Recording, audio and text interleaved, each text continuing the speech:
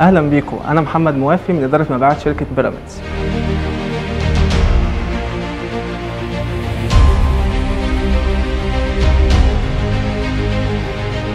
نتكلم النهارده عن مشروع بيراميدز سيتي أكبر مدينة ترفيهية موجودة في مصر وفي العاصمة الإدارية وفي الشرق الأوسط مدينة ترفيهية تجارية إدارية طبية. بمساحة المشروع 152 فدان. على النهر الأخضر مباشرة على محور بن زايد وفي مدخل العاصمة الإدارية. نتكلم إن إحنا واحد بن زايد الجنوبي واحد الجمهورية الجديدة واحد آه، العاصمة الإدارية.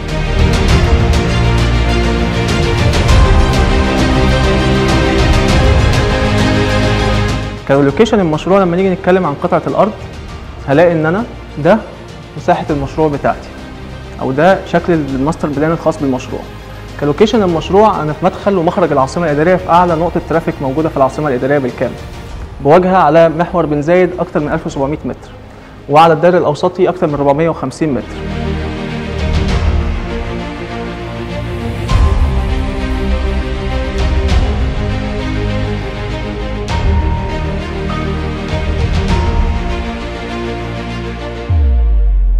طيب كقطعة أرض أو كمساحة مشروع أو ك location لما باجي أتكلم أو أستثمر في حاجة تجاري أو إداري أو آه، غيره آه، كطبي بدور دايما على ال traffic.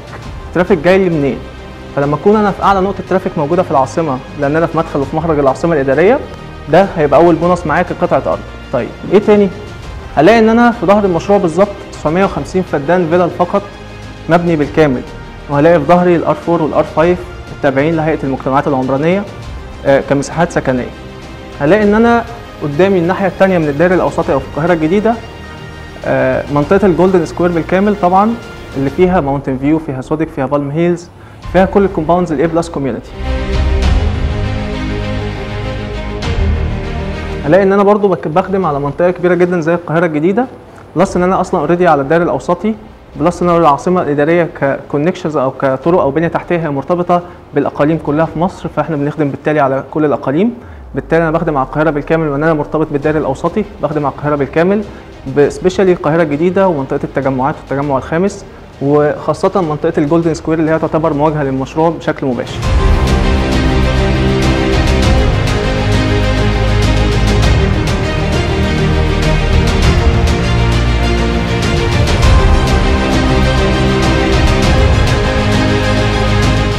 نيجي نتكلم على مشروع بالحجم ده كان لازم كمطور عقاري أضيف فيه خدمات لأول مرة هتكون موجودة في مصر عشان القوة التشغيلية أضمنها بكامل طاقتها في كامل المشروع.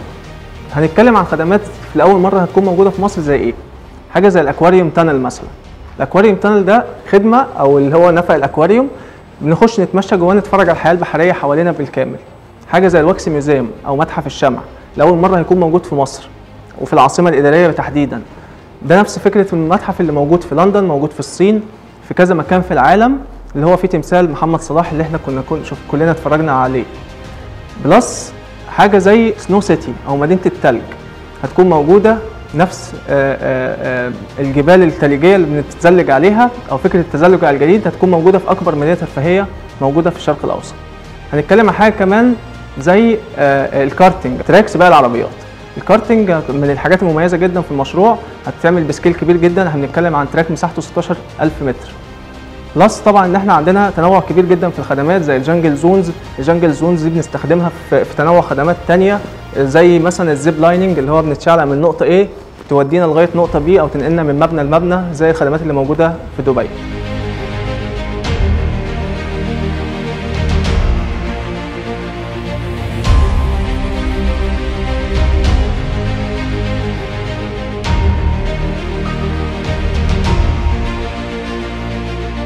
تنوع الخدمات برضو عندنا حاجة زي آه، المسرح المفتوح. دايما لما بنيجي نحضر أي حفلة أو أي مكان للاحتفالات في مصر بيبقى stage معمول أو مسرح معمول بيخلص الحفلة وبنلم المسرح. طب ليه ما يكونش عندي مكان مهيأ لاستقبال أكتر من 14000 visitor إن يكون إقامة الحفلات كحاجة تشغيلية هتبقى قوية جدا.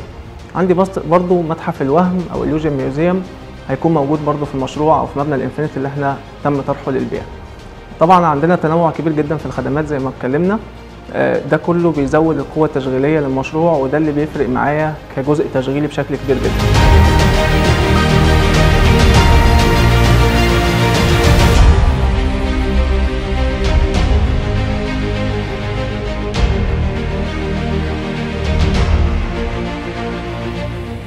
لما نيجي نتكلم طبعا عن اتكلمنا عن ال location اتكلمنا عن ال attraction points أو نقاط الجذب نبدأ نتكلم عن ال payment أو طرق السداد.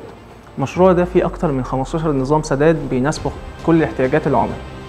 من أول أنظمة مقدم بأقساط لغاية توصل لغاية 8 سنين أو مقدم بعوائد وأول قسط بعد الاستلام وعوائد توصل ل 22% في السنة. عندي نوع تاني من نظم السداد اسمه نظام حق الاسترداد. نظام حق الاسترداد برضو بنقدر نستثمر بمقدمات من أول 35% لغاية 50% بيبقى عندنا option إن إحنا وقت الاستلام يا إما إن إحنا نستلم ال unit بتاعتنا ونكمل اقساطنا لمدة خمس سنين بعد الاستلام أو إن إحنا نسترد المقدم بتاعنا بالكامل ونرجع ال unit للشركة. فكل الأنظمة وتنوعها بي- بيناسب كل احتياجات آه، العملاء.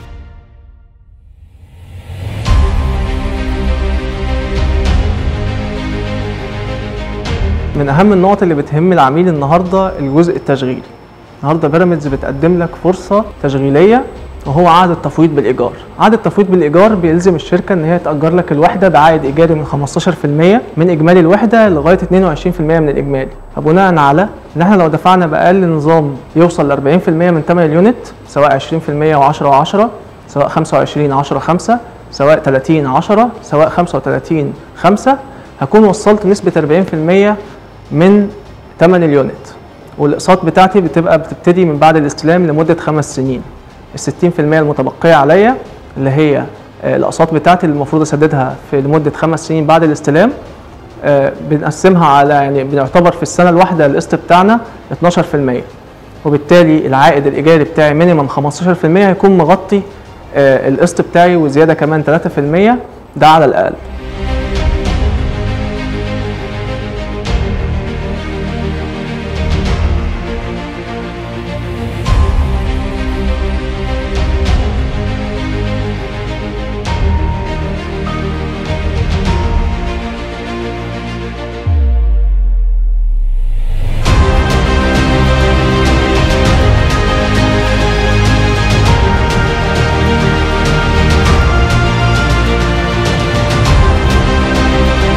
النهارده كنت معاكم من عاشر مشروع لشركة بيراميدز بيراميدز سيتي.